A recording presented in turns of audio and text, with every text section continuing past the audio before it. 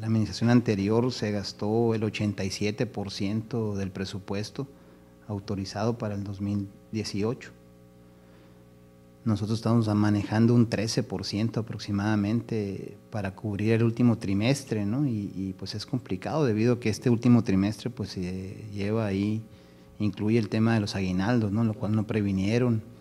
Nos dejaron con, con deudas a corto plazo por el orden de 24 millones de pesos. Estas fueron las declaraciones del presidente de Chojo al señalar el inicio de la administración como una difícil situación debido a que solo mil pesos se encontraron en las cuatro cuentas bancarias del ayuntamiento.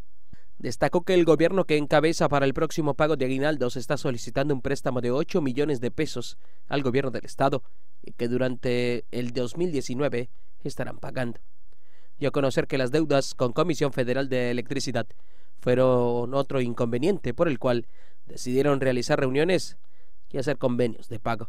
Un convenio con comisión que fueron este, pues pateando el bote, como se dice comúnmente, ¿no? Hasta dejárnoslos a nosotros.